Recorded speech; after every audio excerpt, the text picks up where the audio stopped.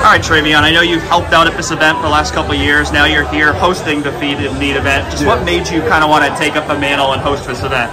Say that again. What made you just want to take up the mantle and host this event? I mean, I'm just I'm just so thankful to be here. You know, I'm I'm, I'm so thankful that God put me in this position, allowed me to come here and you know um, give back. And, and help people that are in need, man. It's a, and it's a blessing to just be able to be here, man. So I thank God for everything. Do you view that as somebody who has a big role in this community, as, some, as a responsibility to help give back?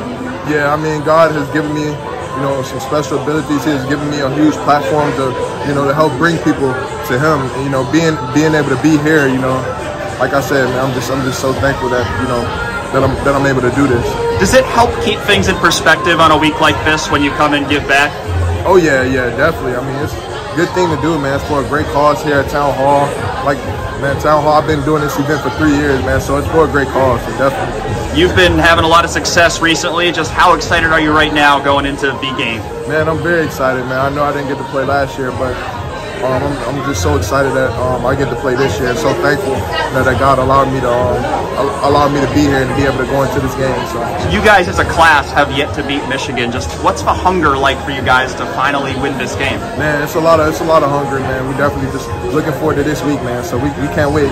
What stands out to you when you watch Michigan's defense? Uh, man, great team, man. They're they're a great team, great defense, man. So it's gonna be a good game. What's the focus like right now inside the Woody?